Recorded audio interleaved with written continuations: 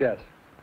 Um, the argument's been made that the operant model is deficient because it explains how we modify behavior, and yet it doesn't explain where some of the behaviors in the individual's repertoire come from and um, why certain things are reinforcers. But I think all conditioning goes on only because the human organism has the, the capacities it has to be reinforced by various things. It is, able, it is able to respond to reinforcement by changing its behavior and so on. And that's all part of its genetic endowment. It's what, what it comes with, with the baby. The baby is a member of the human species and as such shows all of the effects of the evolution of that species. It's been terribly important to the human species to be strongly reinforced by sweets, for example, because at the time when was famine, pestilence, and so on, it was very important to get food. Same thing is true of sex at a time when the human race was decimated by pestilence and so on, it's very important that everyone copulated every opportunity. So it's actually a terribly reinforcing thing. But now, uh, with, con with controls um, for, for, for, famine, pestilence, and all of that kind of thing, we are overpopulating the earth. It's, it's just too reinforcing for current needs of the species. Now, the individual is not going to be just the human species. He will have in individual features. If you want to know what reinforces a person, try him out. That's the only definition we have anyway of a reinforcer. Do you think it's possible for an individual to use operant techniques to control his own behavior? Control his own behavior. I don't believe that you ever control yourself by willpower or by going mm and doing the right thing. I think you do have to change the world in which you live. You do change it when, for example, you, uh, if, if you you tend to, to eat too much, you stay away from food at least. That is some help in, in preventing this constant uh, eating behavior, which is getting you into trouble. You can change the deprivation level. If uh, you have friends who like to ply you at a cocktail party, drink a great deal of water before you go because part of the drinking is mere thirst quenching, and if you can reduce that part of it, then you are in a much better position to turn down a third or fourth cocktail and so on. Can you give me an example of any behavior that you don't think that you could condition? I, well, I think it'd be very hard to say. That's a very general statement. And uh, to say no, there is none would be a very foolish thing to say. But I don't know of any particular kind.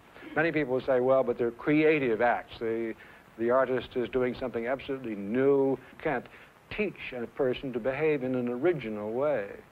It wouldn't be original if you taught him. But you can teach him to do the kinds of things which make accidents most likely and make other sources of originality more effective. I, I did a, a, lecture at the Guggenheim some time ago on uh, creating the creative artist.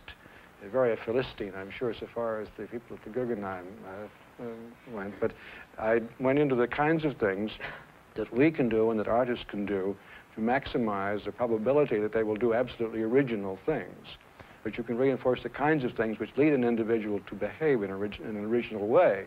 And of course, he then gets reinforced for it. The artist fiddles around with paint, putting it on, putting it on a different way until something, something happens it's reinforcing. What do you think should be the role of operant techniques in dealing with human psychopathologies?